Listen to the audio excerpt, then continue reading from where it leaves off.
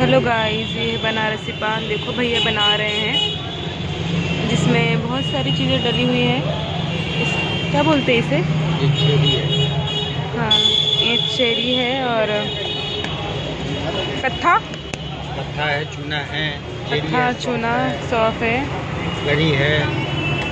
ये मीठा सुपारी है। ये मीठा सुपारी है। देखिए ये बनारस का पान जो फ़ेमस बनारसी पान जिसे कहते हैं। अभी इसके अंदर गुलकंद डलेगा। खाने वाला जो होता है वही ना? खाने वाला गुलकंद होता है। नहीं नहीं पानी का नहीं होता है। ये चीनी से बना होता है अच्छा ये चीनी का बना हुआ गुलकंद है। चीनी और गुलाब की पत्तियों से बना हुआ होता है। अंदर केसर है। बनारस का बनारसी फ़ेमस पान आप देख रहे हैं इस वीडियो में। ये जो भैया बना रहे हैं दो पान बना रहे हैं। और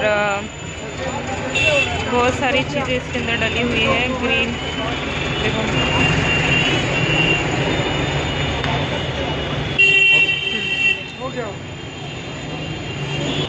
करो करो करो फोल्ड करो। देखो इसको इस तरह से बनाते हैं। ये बन गया बनारसी पान।